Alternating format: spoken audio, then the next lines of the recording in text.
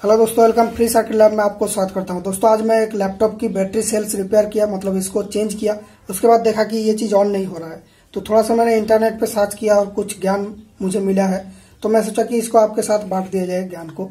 तो आइए इसको रिपेयर करते हैं। तो यहाँ पर देखिए ग्राउंड लाइन मेरा खुला हुआ है तो इसको कनेक्ट कर लेते हैं। तो मैं ग्राउंड लाइन को लास्ट में कनेक्ट कर रहा हूँ। इसका वजह यह है कि ग्राउंड लाइन को कनेक्ट करने से इसका जो मेन आईसी चिप है, ये ऑन होता है। तो ग्राउंड लाइन को लास्ट में कनेक्ट करने की एक सुविधा यह है कि इसको जब कनेक्ट करेंगे, तब चिप जब ऑन होगा, ये ऑन होकर ही देखेगा कि सारे सेल जैसा कनेक्ट होना था, वैसा ही है। अगर आप इस ग्राउंड लाइन को पहले कनेक्ट कर देते हैं और बाद में कोई दूसरा लाइन कनेक्ट करते हैं तो आईसी को पता चल जाता है कि ये लाइन बाद में कनेक्ट हुआ है। मतलब सेल के अनबैलेंस मिल जाता है इस आईसी को। तो ग्राउंड लाइन लास्ट में कनेक्ट करने से सेल सब बैलेंस्ड रहेगी। मतलब एक एक सेल को अगर आप लगाते हैं तो उसमें आईसी की दिक्कत आती है। लेकिन इस वजह से अगर आप ग्राउंड को लास्ट में लगाते हैं मतलब जो सबसे माइनस वाली लाइन है। तो ये चिप ऑन हो होके ही पहले देखेगा कि सब सेल आपका सही सही कनेक्टेड है। तो ये इसका ऑपरेशन स्टार्ट करेगी।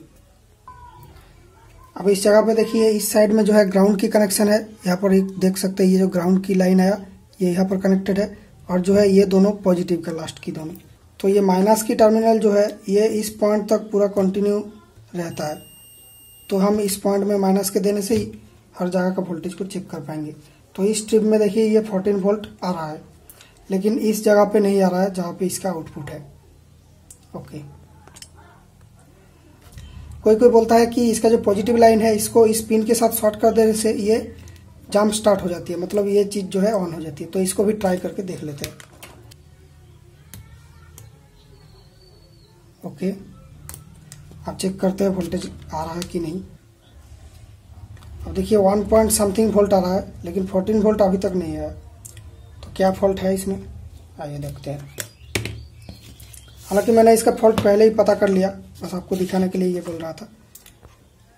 तो इस जगह पे देखिए, जहाँ पे आपका पॉजिटिव लाइन इन हो रहा है, उस जगह पे पहले ही आपका जो फ्यूज एक मिलेगा। तो ये कंपोनेंट है फ्यूज और ये दोनों कंपोनेंट है मॉस्फेट आईसी ओके तो ये दोनों काट आउट का काम करता है ओवर वोल्टेज अंडर वोल्टेज पे। और ये है इसका मेन चिप पीछे साइड में कोई भी एक्टिव कंपोनेंट उतना ज़्यादा है नहीं। तो यहाँ पर एक आईसी छोटा वाला है और दो एक ट्रांजिस्टर इस तरफ़ है। तो ये लॉजिक वगैरह कंट्रोल करने के लिए। और ये जो थर्मिस्टर है, ये इसका हीट को मेजर करता है। और अगर हाई हीट हो जाता है तो इसको काट कर देता है। और लैपटॉप को सिग्नल भेजता है कि हीट हो चुका है। तो यहाँ पर देखिए, ये जो लास्ट वाले कंपोनेंट फ्यूज है, इसके ऊपर जो लिखा रहेगा, वो ट्वेल्व ए एच फोर इस तरह का एक लिखा रहेगा और उसके नीचे लिखा रहेगा एस सी एस एफ़ ये जो है एक ऐसा फ्यूज है, इसको ब्लो करने के लिए हाई करंट की ज़रूरत नहीं है। इस आईसी में अगर कोई फॉल्ट डिटेक्ट किया, तब इसका जो आउटपुट को काट करना चाहिए। तब ये क्या करता है, इस आईसी से एक सिग्नल भेजता है इस फ्यूज को, और उस सिग्नल से ये फ्यूज अपने आप हीट हो जाती है और अपने आप खुद को उड़ा लेता है। तो ऐसा ये फ्यूज होता है। तो इस फ्यूज को हम खोल के देखेंगे इसके अंदर क्या है। तो इसको खोलना बहुत ही इजी है। तो ये ग्लू दे के चिपका हुआ रहता है। तो इसको खोलना बहुत ही इजी है। आपको एक चाकू लेके थोड़ा सा फ्राई कर देना है। रुको, उससे पहले आपको दिखाया था कि इसका जो फ्यूज की कनेक्शन ये कंटिन्यू है कि नहीं, ये उड़ा हुआ है। तो ये रहा मेरा मीटर तो ये देखिए, इस कनेक्शन में बीप दे रहा है। अब ये जो कनेक्शन है, यहाँ पर देख सकते हैं फ्यूज का जो कनेक्शन ये आया यहाँ पे घुसा और यहाँ से आउटपुट हुआ। ये देखिए, यहाँ पे घुसा और यहाँ से आउटपुट हुआ और इस तरफ़ गया। और ये जो दो साइड का कनेक्शन है, ये हीटर का कनेक्शन तो इसमें देखिए, कोई कंटिन्यूटी नहीं बता रहा है। तो इसका मतलब कि ये फ्यूज जुड़ा हुआ है।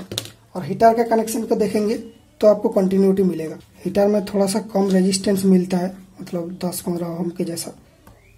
तो ये देखिए हीटर में कनेक्शन आ रहा है 16 होम मतलब ये एक रेजिस्टेंस है, ये हीट हो जाता है, जब इसमें वोल्टेज दिया जाता है तो। तो अब इसको खोलते हैं, देखते हैं इसके अंदर है क्या। तो ये देखिए, ये खुल गया। मैंने पहले से खोल के रखा था, इसलिए ये इजीली निकल गया। तो आप थोड़ा सा ज़्यादा फ्राई करना तो निकल जाएगा। ये ग्लू देख के चिपका हुआ रहता है। तो यहाँ पर देखिए, ये जो चीज़ मिल रहा है हमें, ये ब्लो अप हुआ मिल रहा है। मतलब इसका जो अंदर में देखिए, ये सोल्डरिंग जैसा रहता है। ये गर्म होके ये खुल गया। फिर ये अंदर में लोकलाइज हो गया। मतलब साइड साइड में जो कनेक्शन है, उसके साथ और कनेक्टेड नहीं है। तो ये एक इंटेलिजेंट चीज़ है। साइंटिस्ट ने बनाया इस फ्यूज को। तो ये सोल्डरिंग जो है मेल्ट हो जाता है, उसके बाद ये फ्यूज उड़ जाता है। तो भाई इसको आप खरीद सकते हैं अली एक्सप्रेस में मिलता है, लेकिन मैं आज इसको रिपेयर करके चालू करूँगा, क्योंकि इसको खरीदना मतलब इसमें बहुत पैसा लग जाएगा, क्योंकि एक यूनिट अवेलेबल नहीं होगा, ज़्यादा से ज़्यादा यूनिट खरीदना पड़ेगा तो उतना हम नहीं करेंगे। इसको थोड़ा सा रिपेयर कर लेंगे सोल्डरिंग आयरन से। तो बस थोड़ा सा इसको कनेक्ट कर देंगे ऊपर और नीचे।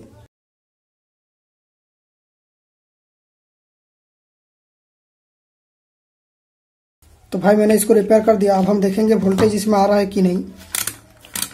तो इसको वोल्टेज मोड में देते हैं और ये देखिए 14.2 वोल्ट आ गया। तो यही था इसका प्रॉब्लम और भाई वोल्टेज आ जाने से कोई चीज़ रिपेयर हो चुका है, ये तो हम नहीं कह सकते। तो इसलिए हम इसको टेस्ट करेंगे, एक एलईडी देके। तो ये पता चल रहा है कि नहीं, ये देख के हमको पता चलेगा कि ये चीज़ एक्चुअली रिपेयर हुआ कि नहीं। तो इसको लगाया माइनस में और प्लस में इसको देंगे। तो ये देखिए एलईडी ग्लो होने लगा। तो अगर माइनस को यहाँ पर ना लगा के यहाँ पर भी लगाता हूँ तो भी ये जलेगा। ये देखिए। तो इसका मतलब जो है, ये चीज़ आपका आउटपुट कर रहा है। तो ये चीज़ रिपेयर हो गई। लेकिन अब इसका जो फ्यूज है, इसका हीटर अभी सही है। तो बाद में इसको उड़ा भी सकता है, अगर कोई फॉल्ट लॉजिक इसमें डेवलप होता है। अगर आप लैपटॉप के लगाने के लिए कर रहे हैं इसको तो इस चीज़ को आप ऐसा मत कीजिए। ये मेरा रिकमेंडेशन है, क्योंकि इसमें मैं गारंटी नहीं दे सकता हूँ कि इसको ये उड़ा पाएगा। और ये शायद आपका लैपटॉप को खराब कर दे, कहीं कंडीशन में अगर फॉल्ट लॉजिक होता है। तो इस चीज़ को आप खरीद के लगाने की कोशिश कीजिए। तो दोस्तों थैंक यू फॉर वॉचिंग ये वीडियो कैसा लगा कमेंट्स में बताना। तो अगर ये वीडियो पसंद आए वीडियो को लाइक और शेयर कीजिए। अगर आपको कुछ पूछना है, जानना है तो कमेंट्स में बताना। Thank you for watching see you in my next video with fresh and new idea